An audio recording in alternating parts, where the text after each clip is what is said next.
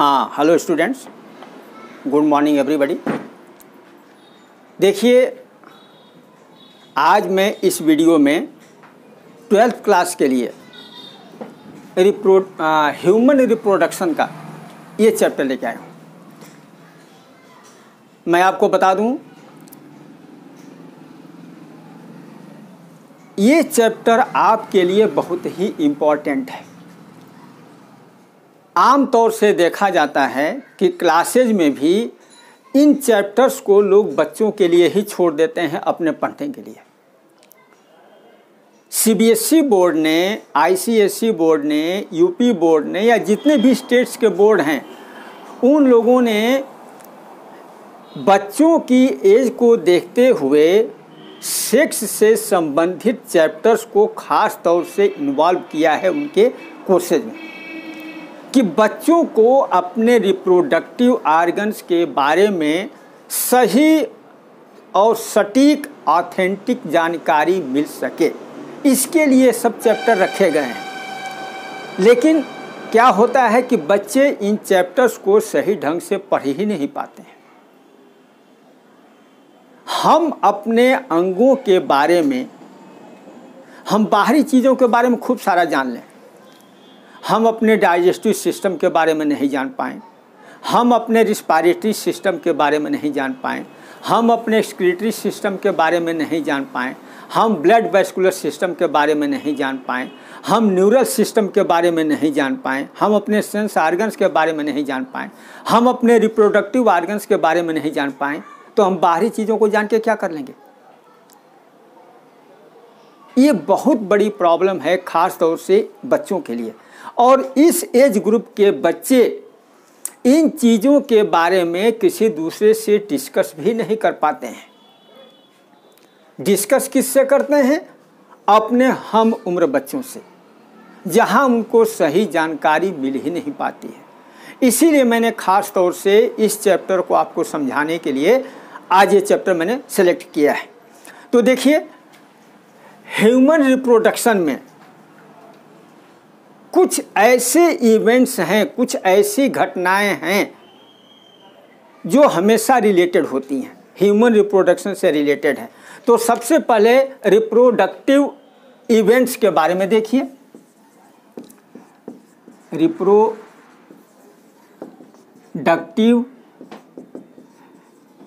Events कुछ चीज़ें जो मैं आपको बताने जा रहा हूँ, ये बार बार रिवाइज होंगी। कुछ चीज़ें तो प्लांट्स रिप्रोडक्शन में भी है, मैंने पीछे भी बताया था।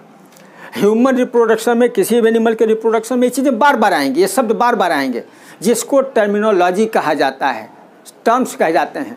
कुछ शब्दों को जानना, उनके डेफिनेशन को जानना ये बायो के स्टूडेंट्स के लिए बहुत आवश्यक है।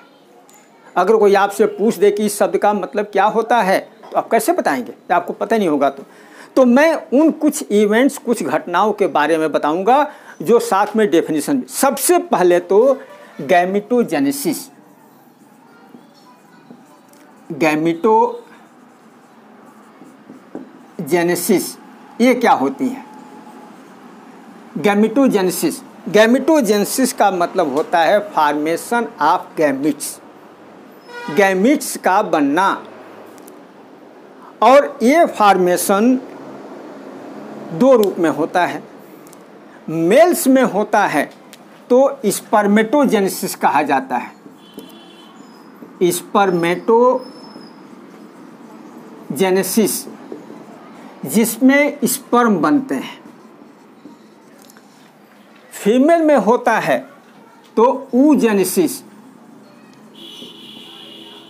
जिसमें ओवम या एग कहते हैं। यह बनता है। तो गैमिटोजेनेसिस का एक ऐसा प्रोसेस है। Formation of gametes either sperm और ओवम इज़ कॉल्ड गैमिटोजेनेसिस आपको पता है कि गैमिट्स में क्रोमोसोम्स की संख्या हाफ़ होती है, आधी होती है। दूसरी चीज़ है इनसेमिनेशन इन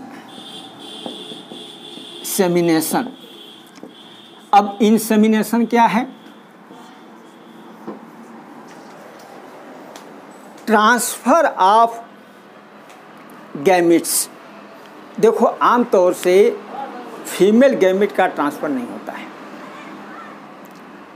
आप जितने भी देख लीजिए, पौधों से लेके एनिमल्स में, ओवरी में ही ओब्यूल होता है, उसका ट्रांसफ़र नहीं होता है।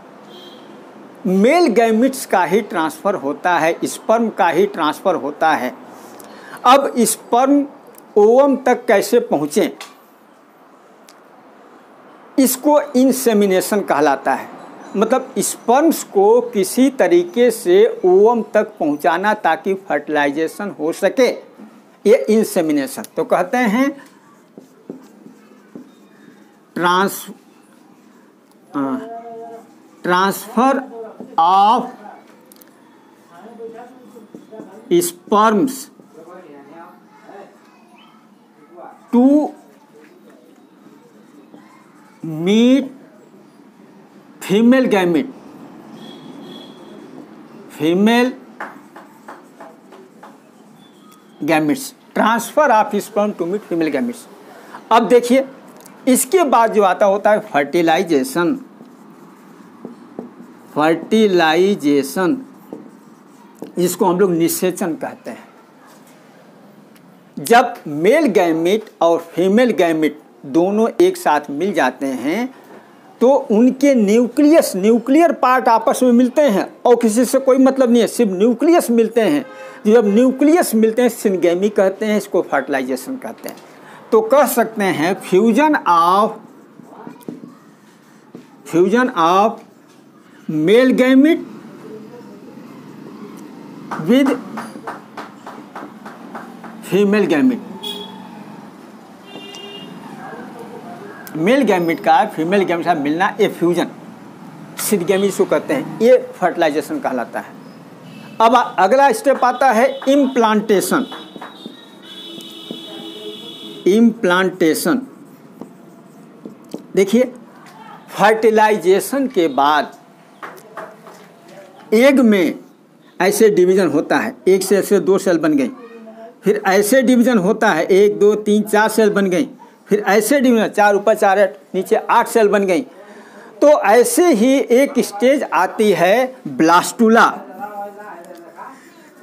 ब्लास्टुला स्टेज आती है। मारूला, ब्लास्टुला, गैस्टुला सब स्टेजेज आते हैं, मैं आपको आगे पढ़ाऊँगा। ब्लास्टूला स्टेज जब आती है तो आठ, सोलह, बत्तीस ऐसी सेल्स बन जाती हैं। तो इस इस स्टेज में, ये जो एग है, अब उसको एग नहीं कहेंगे, उसको जाइगोट कहेंगे। जाइगोट उसको फिर हम लोग इम्ब्रियो भी कह सकते हैं। इम्ब्रियो, भ्रूण जिसको कहते हैं। अब फर्टिलाइजेशन तो फैलोपियन ट्यूब में होता है, मैं आगे आपको पढ़ाऊँगा।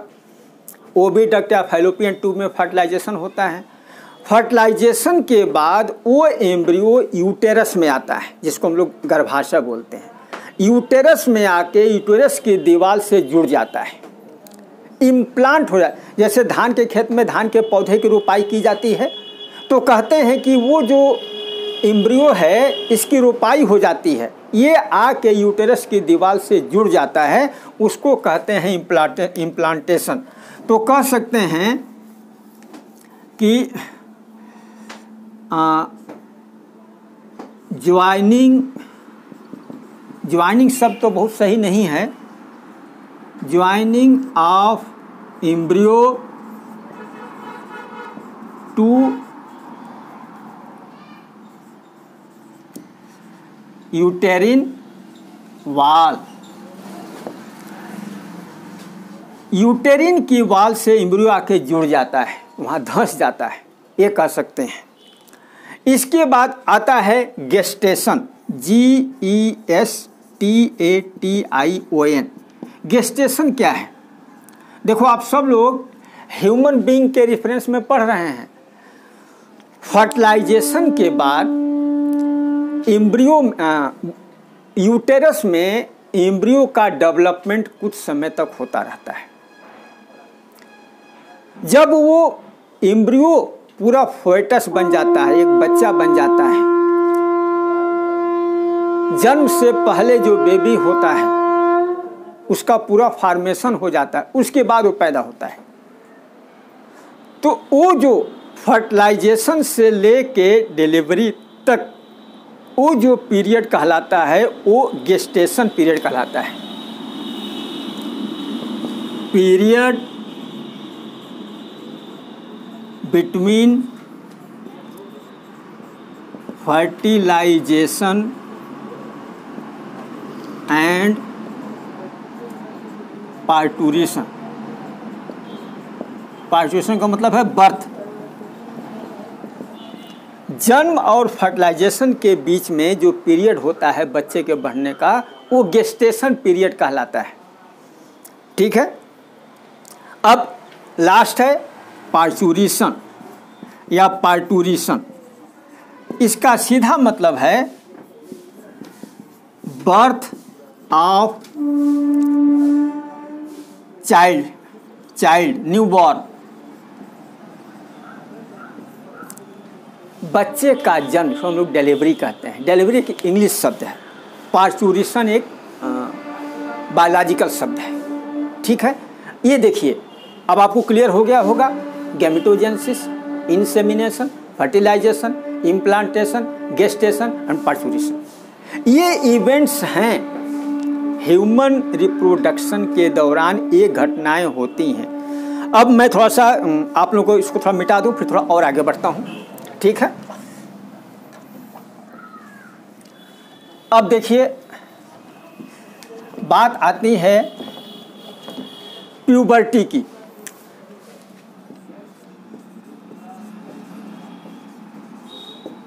प्यूबर्टी।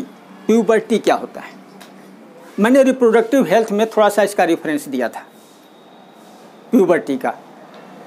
प्यूबर्टी जो है, जिसको हम लोग युवा अवस्था बोलते हैं। कहते हैं कि इनकी बॉडी अब मैच्योर हो गई है। एक एडोलिसेंस पीरियड होता है एडोलिसेंट जब बच्चे की ग्रोथ शुरू होती है। मैं बता दूँ लड़कियों में 10 साल से 11 साल के अंदर बॉडी और सेक्स आर्गन्स की ग्रोथ शुरू हो जाती है। जब ये ग्रोथ शुरू होती है तो बहुत सारे शरीर में सेकेंडरी सेक्सुअल कैरेक्टर विकसित होते हैं। अब वो सेकेंडरी सेक्सुअल कैरेक्टर विकसित होते हैं तो वो कुछ समय लगता है। जैसे अगर मैं दस ग्यारह साल से कह रहा हूँ, दो, तीन साल, चार साल समय लगता है। लड़कों में बारह, तेरह साल से शुरू होकर उनको भी तीन, चार साल लगता है। लेकिन सब में नहीं कि सब में तीन, चार साल लगे। ये बॉडी टू बॉडी डिफर करता है। हो सकता है कि किसी में सेक्स आर्गन्स वगैरह दो ही साल में डेवलप हो जाए, किसी में पाँच साल छः साल लग जाए। ये अलग अलग है। हम किसी को किसी से तुलना नहीं कर सकते हैं। तो प्यूबर्टी में जाके सेक्सुअल मैच्योरिटी आ जाती है। मेल्स में स्पर्म्स का फॉर्मेशन होने लग जाता है, शुरू हो जाता है। लेडीज़ में ओवम का फॉर्मेशन शुरू हो जाता है। आम तौर से मेल्स में स्पर्म्स का फॉर्मेशन ओल्ड एज तक भी चलता रहता है, लेकिन फीमेल्स में 48-50 साल के आसपास जाते जाते अंडे का बनना रुक जाता है। ओव्यूलेशन ओवम फार्मेशन ख़त्म हो जाता है, जिसको मीनोपाज कहा जाता है। मेंस्ट्रुएशन बंद हो जाता है। ठीक है? इतना तो समझ में आपको क्या आ गया? अब मैं शुरू करूँगा रिप्रोडक्टिव आर्गन से। ठीक है? तो सबसे पहले हम लोग लेते हैं रिप्रोडक्टिव। आर्गन्स हम लोग लेंगे मेल रिप्रोडक्टिव आर्गन सबसे पहले हम लोग लेते हैं मेल रिप्रोडक्टिव आर्गन देखिए मेल रिप्रोडक्टिव आर्गन्स में कौन कौन से अंग हैं जिनको हम कंबाइंड रूप में मेल रिप्रोडक्टिव आर्गन कहेंगे? तो सबसे पहले तो टेस्टिस बहुवचन में करिए स्क्रोटम टेस्टिस स्क्रोटम उसके बाद टेस्टिक्यूलर लॉब्यूल्स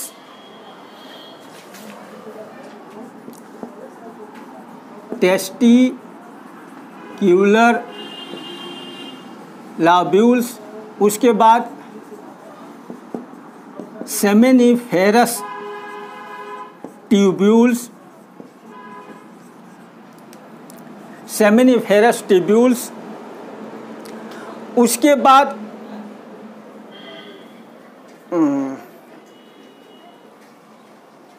कुछ डक्स हैं और कुछ ग्लैंड्स हैं। तो मैं डक्स का नाम लिख देता हूँ। स्पर्म डक्ट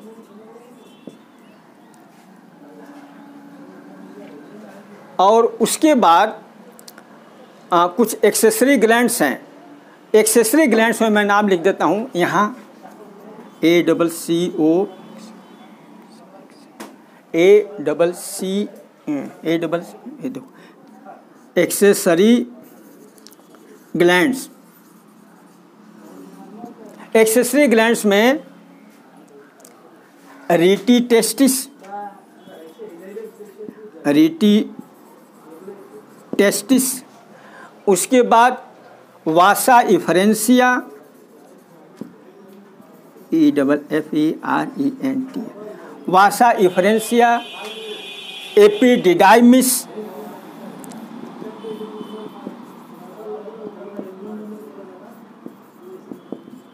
epididymis, उसके बाद वास डिफरेंस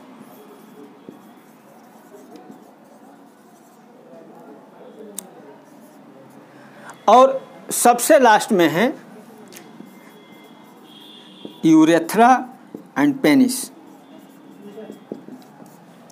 अब देखिए ये सारी इसमें बल्कि मैं एक दो चीज़ें अभी आ, छोड़ दे रहा हूँ। ग्लैंड्स में तो इसमें ये भी आ जाएगा प्रोस्टेट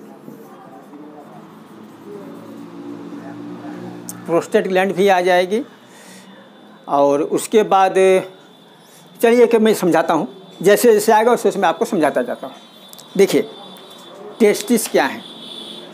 हम लोगों के मेल्स में मेल्स में शरीर से बाहर एक झिल्ली या पैकेट के अंदर, उस पैकेट को स्क्रोटम कहते हैं।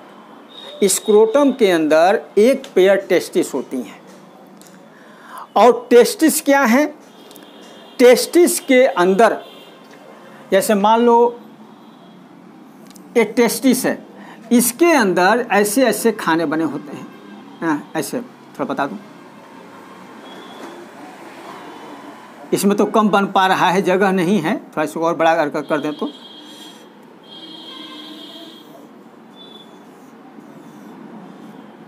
ऐसे ऐसे। ये टेस्टिकुलर लोब्यूल्स होते हैं। टेस्टिक्यूलर लोब्यूल्स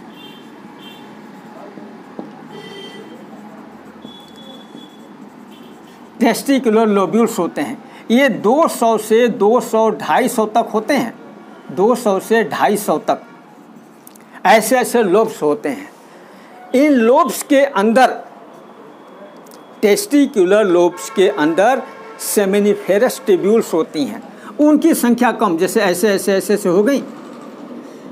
दो दो, तीन तीन होती हैं ऐसे ऐसे। ऐसे ऐसे। इनको कहते हैं सेमिनिफेरस टिब्यूल्स सेमिनिफेरस टिब्यूल्स ये सेमिनिफेरस टिब्यूल्स आपस में मिलके ऐसे ऐसे। ऐसे ऐसे आती हैं।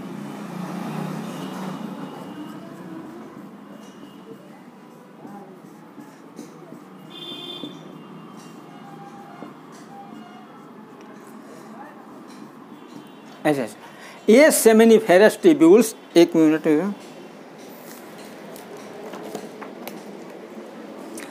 जो सेमिनिफेरस टिब्यूल्स हैं, ये आपस में मिलके एक यहाँ से रीटी टेस्टिस बनाती हैं। मैंने लिखा है यहाँ, रीटी टेस्टिस। और ये सब देखो यहाँ पर ऐसे एपीडिडाइमिस होती है।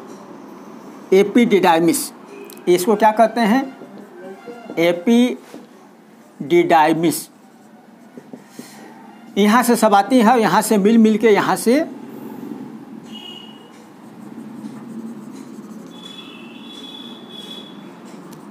ऐसे ऐसे मिल के फिर यहाँ से ऐसे जाती हैं। ठीक है? ये है वास डिफरेंस। Vas deferens. और हाँ हाँ। अरे एपी डिडाइमिस अब इसके बाद देखिए, ये हैं vasa efferentia. Vasa E double F E R E N T I A ये वासा इफरेंसिया है। ठीक है ना? यहाँ से निकलती हैं। और ये सारी मिलके एक ट्यूब बनाती हैं ये ट्यूब हम लोग के एब्डामिन में आती है। वहाँ से निकल के एब्डामिन में आ जाती है। एब्डामिन में आती है तो यहाँ पर दूसरी साइड से भी आती हैं। यहाँ पर यूरिनरी ब्लैडर है। यूरिनरी ब्लैडर है, जिसको हम लोग मूत्राशय कहते हैं। यूरिनरी ब्लैडर में ऊपर से किडनी है। देखिए, यहाँ पर एक किडनी है। इन किडनी से जो यूरेटर निकलता है, वो यूरेटर ऐसे। तो थोड़ा सा इधर हो गया है। हम इसको ऐसे बना दें। जो यूरेटर ऊपर से आता है, वो ऐसे आता है यूरेटर और ये ये इधर से और दूसरी इधर से। ये दोनों आती हैं। यहाँ का हिस्सा थोड़ा सा फूल सा जाता है। जिसको सेमिनल वेसिकल कहा जाता है। Seminal vesicle. ये दोनों हिस्से फिर आके यहाँ एक साथ मिल जाते हैं।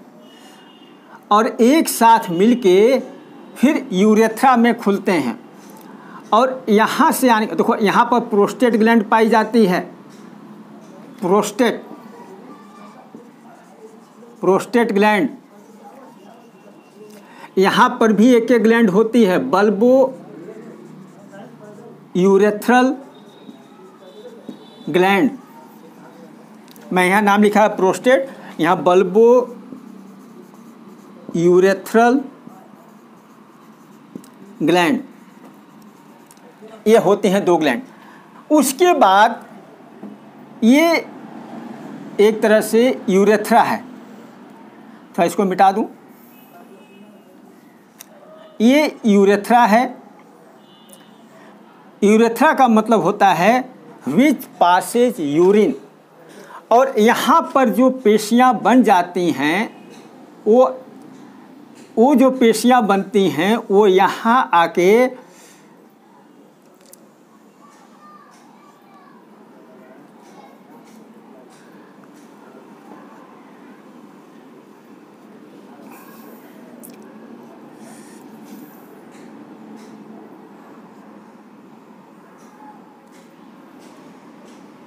ये ऐसे।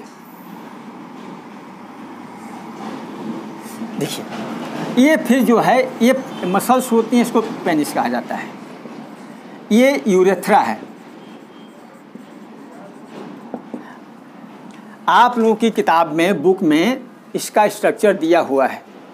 मैं नोट्स में भी भेजूँगा। इस पर बहुत साफ़ नहीं बन पा रहा है। तो आप लोग उस फिगर को भी बना के प्रैक्टिस कर लेंगे। तो देखिए, ये जो चीज़ें हैं, ये सारा मेल रिप्रोडक्टिव आर्गन्स हैं। अब थोड़ा सा फीमेल रिप्रोडक्टिव आर्गन्स को देख लिया जाए।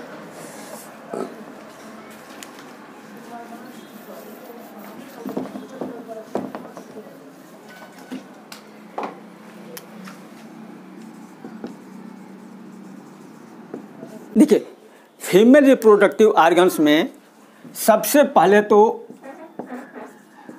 ओवरी आती है, एक पेयर उसके बाद ओबीडक्ट या फैलोपियन ट्यूब।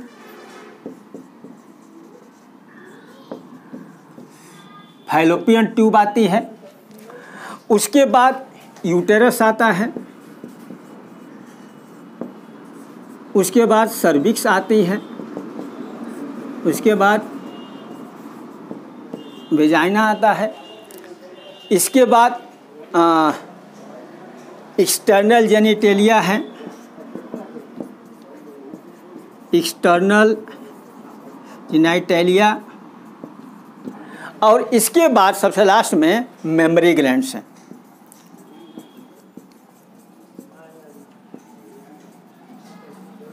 मेमोरी ग्लैंड्स हैं। देखिए ये चीज़ें हैं, ये सब रिप्रोडक्टिव आर्गन्स हैं। मैं इस थोड़ा शार्ट में बता देता हूँ। इस फिगर में कंप्लीट फीमेल रिप्रोडक्टिव आर्गन का बताया गया है। देखो, ये दोनों ओवरीज हैं। वन पेयर ओवरीज हैं, जिसमें एक फार्मेशन होता है, बाद में ओव्यूलेशन होता है। ये ओविडक्ट हैं, जिसको फैलोपियन ट्यूब भी कहते हैं। ओविडक्ट को फैलोपियन ट्यूब भी कहते हैं। अब ओविडक्ट को हम लोग पढ़ने के हिसाब से तीन भागों में, ये जो हिस्सा है स्थमस ये जो हिस्सा है एम्पुला, ये जो हिस्सा है इनफंडिबुलम, ये जो रचना है उंगली की तरफ़, ये फिम्बरी ये फिम्बरी का जो निकली हुई हैं। तो कह सकते हैं कि फैलोपियन ट्यूब जो है, इसको चार भागों में बांटा जा सकता है। Fimbriae infundibulum ampulla and isthmus ये फाइलोपियन ट्यूब ही है ओविडक्ट ही है। ये ओवरी हो गई। राइट साइड, लेफ़्ट साइड की ओवरी ये यहाँ से भी जुड़ी होती है और उसके बाद बॉडी वॉल से भी जुड़ी होती हैं। उसके बाद देखिए, ये यूटेरस का हिस्सा है। यूटेरस, जो सबसे अधिक इंपॉर्टेंट है। यूटेरस मतलब होता है गर्भ, गर्भाशय। देवता की मूर्ति, भगवान की मूर्ति कहाँ रखी रहती है? गर्भगृह में। Garbhagriha is the most sacred place of the temple मंदिर का सबसे पवित्र स्थान, बच्चे का निर्माण जहाँ होता है, उसका डेवलपमेंट जहाँ होता है, वो गर्भाशय कहलाता है, जहाँ एम्ब्रियो का डेवलपमेंट होता है। अब ये देखिए यूटेरिन की जो की जो दीवार है, वो तीन परतों की बनी होती है। सबसे आउटर परत पेरीमेट्रियम बीच वाली परत मायोमेट्रियम और अंदर वाली इंडोमेट्रियम। मेंस्ट्रुएशन साइकिल के समय इंडोमेट्रियम हमेशा बनती रहती है, टूटती रहती है। जिस समय एग का ओव्यूलेशन यहाँ होता है, एग निकलता है, वो एग यहाँ से होते होते होते होते होते होते यहाँ तक आता है। यहाँ आने के बाद फर्टिलाइजेशन होता है और यहाँ कहीं आके इम्प्लांट हो जाता है। ये इम्प्लांट हो जाता है यहाँ। उसके पहले ही ये पूरे इंडोमेट्रियम की दीवार ब्लड वगैरह से बिल्कुल भर जाती हैं, बन जाती हैं, ताकि एग को अपने अंदर एब्जार्व कर सकें, उसको सही स्थान दे सकें इम्प्लांट इम्प्लांटेशन के लिए इम्प्लांट करने के लिए। अब उसके बाद देखिए, ये जो नीचे का पोथा सकरा होता है, इसको कहते हैं सर्विक्स इसको सर्विक्स कहा जाता है। ये भाग थोड़ा सकरा होता है। कहते हैं कि यूटेरस का नीचे वाला जो कोनिकल पार्ट होता है सकरा, इसके बाद जो नीचे वाला भाग है, वो जस्ट लाइक एक ट्यूब की तरह होता है। उस ट्यूब को वेजाइना कहा जाता है। वेजाइना की जो ओपनिंग है, उसको वल्बा कहा जाता है। वेजाइना के ऊपर दो तरह की परतें होती हैं, जो उसको ढके रहती हैं। उनको लेबिया मेजोरा, लेबिया माइनोरा और pubic mons pubic mons pubic क्या है? उसके साइड का इलाका, जहाँ हेयर वगैरह डेवलप होते हैं, वो मॉन्स प्यूबिक का इलाका कहलाता है। तो हम कह सकते हैं कि ये जो विजाइना का इलाका है, इसको तीन भागों में बांट सकते हैं।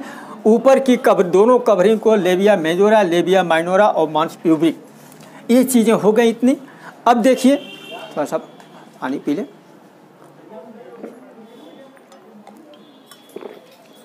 यूटेरस को उम्ब भी कहा जाता है।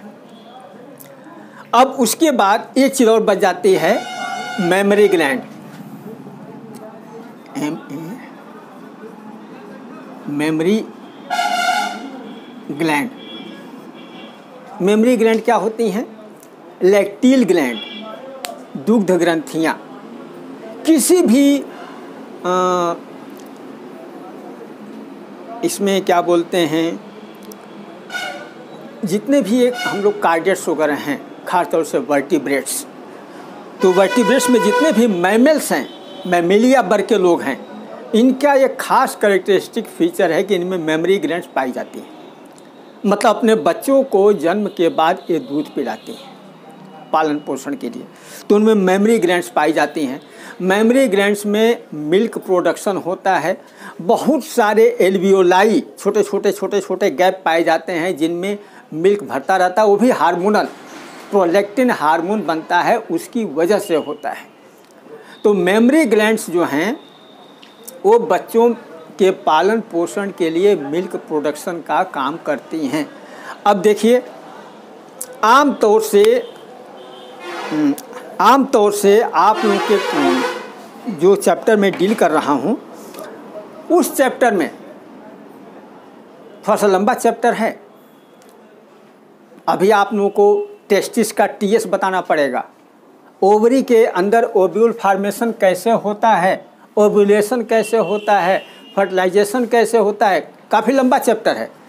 इसको मैं दो तीन पार्ट में करूँगा ताकि आपको समझने में दिक्कत न हो। ये चैप्टर मैंने आपको पहले भी बताया है। इस चैप्टर को आप बहुत ध्यान से पढ़ना। आप बहुत ध्यान से पढ़ोगे तो कई सारे कंसेप्शन आपके क्लियर हो जाएँगे। फिर भी अगर कहीं प्रॉब्लम है तो आप कमेंट बॉक्स में कमेंट डाल सकते हैं, मैं देख लूँगा। अपने स्टूडेंट से फ़ोन भी कर सकते हैं जो फ़ोन के कांटेक्ट में फ़ोन भी कर सकते हैं, ठीक है? और वीडियो देखकर लाइक और शेयर, उसके बाद सब्सक्राइब ज़रूर करना, क्योंकि अगर वीडियो आपको पसंद आएगा तो हो सकता है कि मैं अगला वीडियो इससे थोड़ा और अच्छा बना के भेजूँ, कहाँ कोई कमी न रहे, ठीक है? Thank you everybody.